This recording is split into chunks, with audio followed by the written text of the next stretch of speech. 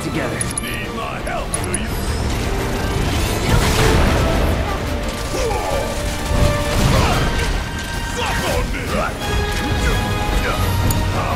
Don't overdo it.